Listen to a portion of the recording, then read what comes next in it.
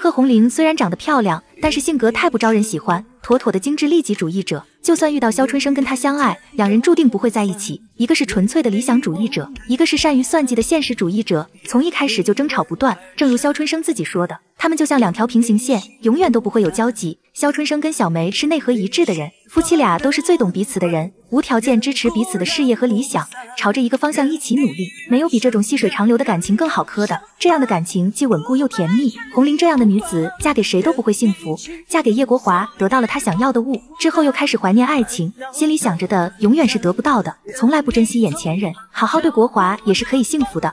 二十年过去，大家都已经到了中年，春生和小梅的感情依然那么的甜，两人的女儿都已经十几岁。红玲羡慕嫉妒的发狂，在春生女儿的生日宴会上，又穿上了二十年前的那身红毛衣，故意送冰刀鞋隔音小梅。岁月还真是没能让她成长，这么多年还跟当年一样差。难怪肖春生摸着钻戒暗自庆幸，庆幸当年找到的真爱是小梅，庆幸跟他相守一生的是小梅。红玲这样的女子注定得不到幸福，所有的不幸都是自己做出来。今天跟大家分享到这里，欢迎评论、转发、关注，下期见。